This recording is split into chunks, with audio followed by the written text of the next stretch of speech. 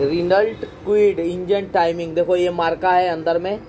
उसके ऊपर ये डिस्कलर फिट किया है यहाँ तो मार्का नहीं दिखाई दे रहा है लेकिन एक के में देखो मार्का दिखाई दे रहा है इसके सामने डिस्कलर और इस वाले मार्के के सामने डिस्कलर यानी ये है क्विड का इंजन टाइमिंग